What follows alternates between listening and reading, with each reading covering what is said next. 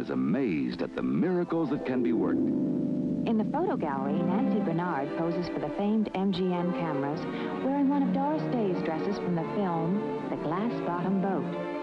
It's a woven striped cotton three-piece suit with re-embroidered touches and pleated skirt. Then the maid of cotton visits a place of special interest to her, lavish wardrobe department. Here, everything from ball gowns to bikinis to bathrobes have been designed for such stars as Elizabeth Taylor, Audrey Hepburn, Debbie Reynolds, and all the other top stars that have graced the screen. Many of the foremost names in fashion have worked here. Right now, the brilliant young designer, Ray Aghayan, is consulting with staff members about the wardrobe he's just completed for the glass bottom boat.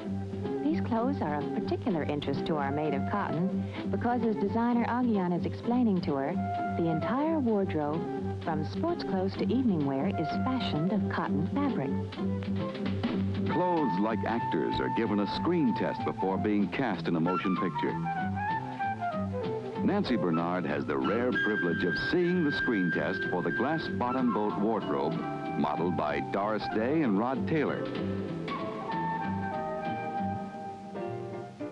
For the modern and romantic atmosphere of the glass bottom boat, the designer has created a huge and colorful wardrobe. Each costume must complement the mood of the scene in which it appears. And although the sketches have been approved by the film's producer and director, the only true test of the wardrobe is how it will photograph for the giant theater screen. Doris Day models an Empire nightgown of embroidered cotton batiste with tucked bodice trim and a matching long-sleeve dressing gown. To match Miss Day's stunning personality, Ray Aghayan designed an elegant yellow cotton piqué evening coat. Underneath is a ravishing gown in white cotton organdy. The entire skirt is lavished with floral punctuation of cotton daisies, their brilliant yellow centers matching perfectly the color of the coat. This charming white cotton faille suit is worn with a gay green and white polka dotted blouse of fine cotton broadcloth. The polka dots are reversed on the lining and the lapels, giving them an amusing pop art effect. Even Rod Taylor gets into the fashion act with a dashing scarlet lining to his classic navy blazer. Now here's an outfit any girl could use. It worked for Doris. She got caught by Rod Taylor. And that's one fish story the boys will never believe. Here we see how one selection from Doris Day's wardrobe will look to millions of moviegoers who see the glass bottom boat in this actual scene from the film. Would you come this way, please? It's called the clean room. It's completely sterilized so that no dust or dirt will contaminate the critical parts.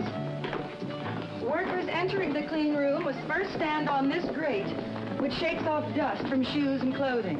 Like this.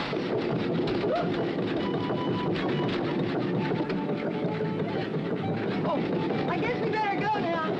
We'll go that way.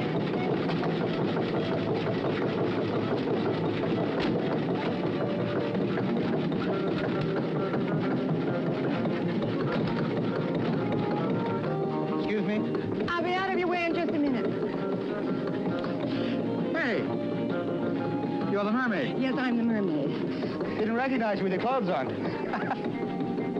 well, we never did introduce ourselves, did we? Well, let's leave it that way, shall we? What are you mad about? In case you hadn't noticed, my heel is stuck.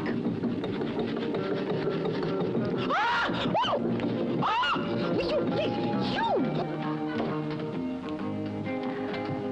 Where's your sense of humor? I lost it in Catalina. What about your shoe?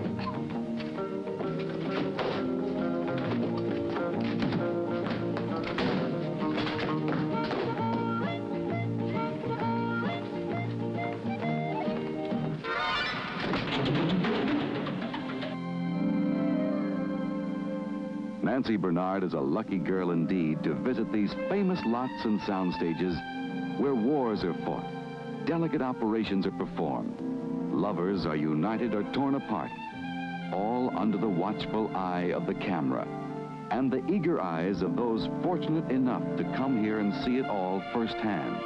For 1966's Maid of Cotton, about to embark on a journey that will take her around the world and to almost all of its major cities, it will be a year of dreams. But one that will stay in her memory forever is her visit to the studios of Metro Goldwyn Mayer.